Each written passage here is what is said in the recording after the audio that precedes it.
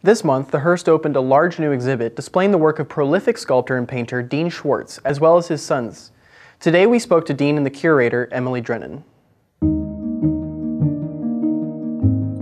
For the past year, we've been working on an exhibit of Dean Schwarz paintings in pots. I have about 2,000 pieces in, in my studio now. He's been making pots for a very long time. Over the course of uh, 58 years, as he tells it, when he started going to UNI, which was the Iowa State Teachers College at the time, he was going for athletics. I came to the university on a scholarship for four years. I was a basketball uh, player. And then he became interested in the arts. Uh, Paul Roland Smith was my teacher, and he was one of the most incredible people that I've ever said. The first class I was working in, and he said, How are you working on this painting? And I said, Well, I just do this. And he says, Really? He says, Which part do you like the best? It seems doesn't come together. And I said, Well, I like this corner here. And he said, the best thing to do is to paint over that and then st start working on the whole picture. And he's just uh, a man who is always doing funny things, but the, behind the funny was something that was uh, serious. Dean Schwarz got his Bachelor of Arts and his Master of Arts there in the 60s, was a Marine, and when he traveled and on his shore leave, he would visit uh, artist studios, um, Shoji Hamada and Marguerite Wildenhain. My background in art comes from Marguerite Wildenhain and uh, her uh, things at the Bauhaus, and before that, uh, she knew all of the people back to uh, 1688. Um, he studied with her for a couple of summers, I think. He's written books about her. And she knew all the masters. They're all master after master master. And then when she made me master potter, well, I think one of only two of us, I think that she said specifically. There may have been others, but I don't know all about what she did. But pretty amazing for me uh, to be such a in a, an old tradition. I don't know. For me, the one of the most interesting pots in the show is um, a, an altered vessel that's in the shape of a person and has a really interesting texture on the bottom. And what I learned is that he took an ancient pot shard and ground it up and used it as grog to add texture and body to the clay. And for somebody who's so interested in the history of ceramics and um, with the important people he's worked with over the years, I thought that that was really fitting that he used that technique. And so, using all of those kinds of things that came before, always the question is do the best you can and do better than ones before you if you can. I would never say that I was better than Marguerite Wildenhain, but I did some, I've, I've continuing to make some very good pieces. Yeah, I think he was interested um, in the craft school of Marguerite's and also I believe he spent a summer at the Haystack Mountain School of Crafts in Maine. He taught at Luther College, as did his wife, and he started a school at his house called South Bear School. His kids served as assistants. He has four sons and two daughters. Lane works pretty specifically right now. Uh, he's a, at Luther College. He is the one who does all of the minis that I decorated.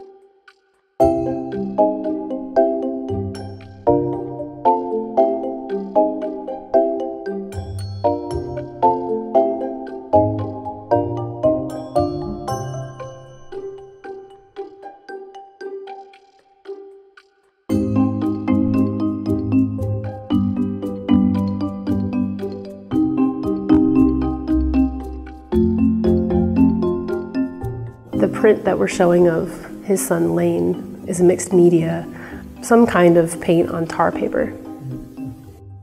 And Gunnar is, uh, is a, uh, works full time with me making pots, ones that are four or five feet tall. One of the hallmarks of Dean's style is his um, incising into the pots that he once made that now his son Gunnar throws for him. So it's a kind of a support two ways. It's wonderful to be to decorating the pieces that they've made, uh, ones that are, you know, an inch tall and ones that are three or four feet high. And I like to decorate all of them. Um, his decorations have uh, themes in them, wildlife and uh, landscapes. They seem to have an agricultural theme. Um, wildlife, he's very interested in animals. He has a sensitivity to animals, as you'll see on some of the, the pots in the show. And many of his paintings, um, especially the ones we have here, have a seed or plant theme.